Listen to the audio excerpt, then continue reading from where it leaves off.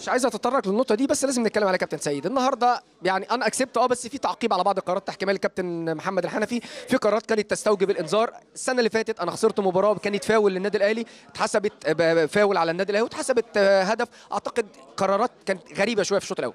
والله بص أنا مش عايز أتكلم عن الأمور التحكيمية خالص خالص يعني نهائي يعني. مش عايز أتكلم عليها خالص يعني. معلش. أنا عايز أسألك على الانذار بقى اللي حضرتك حصلته. عايز أسأل إنذار. والله ما عارف. يعني مش يعني إنذار لحضرتك وانذار للكابتن سامي قمصان إيه السبب؟ مش عارف. يعني أنا مش يعني هل إحنا عشان دخلنا الملعب إيه؟